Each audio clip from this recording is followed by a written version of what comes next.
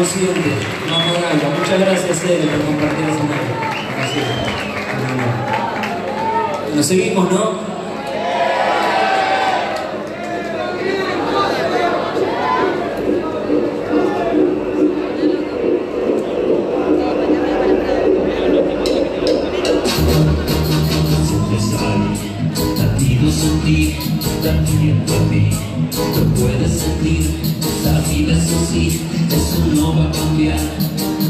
to me.